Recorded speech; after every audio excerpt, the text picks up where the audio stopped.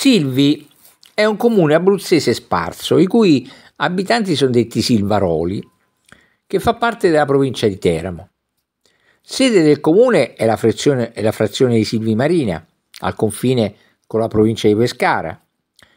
È situato ai piedi delle colline di Città Sant'Angelo ed Atri ed è il comune più meridionale della costa teramana. La cittadina è definita la perla dell'Adriatico per l'unicità dei suoi 6 km di arenile ed è frequentata come stazione balneare, anzi molto frequentata, mentre il centro storico è situato sulle colline retrostanti a un'altitudine di 242 metri sul livello del mare, a, domina- a dominare tutta la costa circostante.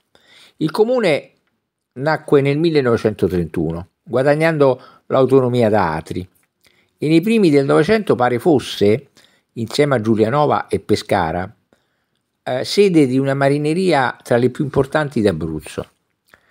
La città moderna si estende ai piedi del colle, lungo i 6-9 km di costa, dalla foce del torrente Cerrano a nord fino al torrente Piomba a sud. Sul nome di Silvi ci sono due opinioni che dividono gli storici. La prima vuole il nome derivare da Silve, per l'abbondanza dei boschi.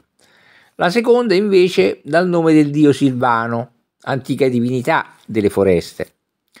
Comunque tutte e due fanno riferimento ai boschi circostanti.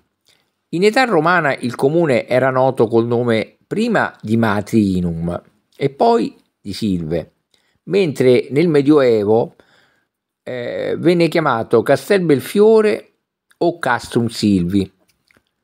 Nata quindi come piccolo borgo collinare e troppo piccola per una, avere una storia antica propria, le sorti di Silvi furono condivise tra il 600 e il 500 a.C. con la potente Atria Picena, l'odierna Atri, la trimillenaria città d'arte che secondo alcuni eminenti storici diede perfino il nome al mare Adriatico e che fu conquistata nel 290 a.C. dai Romani. È nel periodo del predominio romano che il borgo di Silvi venne unito, presidiato e fortificato diventando il Castrum Silve. La cittadina soffrì frequenti invasioni dei corsari turchi e saraceni che sbarcavano di notte sulla costa e risalivano la collina, depredando il territorio e deportando molti abitanti che finirono anche in schiavitù. Ma sarà proprio nel periodo medievale che il borgo inizierà a strutturarsi in una vera e propria cittadina. Il borgo era circondato da una cinta muraria, con tre torri di controllo di 8 metri ciascuna di diametro, tra le quali la torre Belfiore, così chiamata perché si trova di fronte al pentagonale Castel Belfiore, con una vista strategica sul mare e sui monti a 360 gradi. Il 5 ottobre 1273, in seguito alla divisione del giustizierato d'Abruzzo sancita nel diploma di Alife, Silvi viene menzionata nel Demanium Adrie, quale terra di pertinenza dell'abbazia di San Giovanni in Venere. Nel 1393 re Ladislao d'Angiò Durazzo vendette al duca Antonio Acquaviva per 35.000 ducati le città di Atri e di Teramo e tra queste naturalmente anche Silvi, che rientrava nelle competenze di Atri, con tutti i loro diritti e le loro pertinenze. In seguito all'istituzione poi del regno di Napoli di Giuseppe Bonaparte fu abolita la feudalità e le universitas vennero trasformate in comuni e nella riforma amministrativa Silvi fu quindi affrancata da Atri e divenne un comune autonomo. Sul finire del 1800 iniziò a svilupparsi sulla pianura costiera che separa il colle di Silvi dal mare il primo nucleo della cittadina marittima, che avrebbe conosciuto un sostenuto sviluppo demografico e turistico veicolato anche dalla costruzione della ferrovia adriatica nel 1863. Da vedere a Silvi è la torre di Cerrano, che nacque nel Cinquecento come fortezza di avvistamento contro le, le invasioni dei pirati turchi.